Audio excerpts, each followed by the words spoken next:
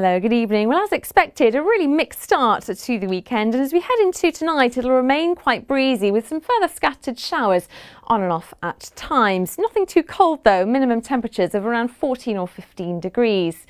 So for Sunday, sunny spells and scattered showers likely through the morning, but into the afternoon cloud will increase and then the risk of some rain arriving into parts of Cornwall towards the evening hours. Staying dry though the further east that you go. Still fairly breezy tomorrow, but not quite as windy as today. For Monday, some further showers or rain on and off at times, but after that, it should generally become much drier and brighter and warming up a little as well.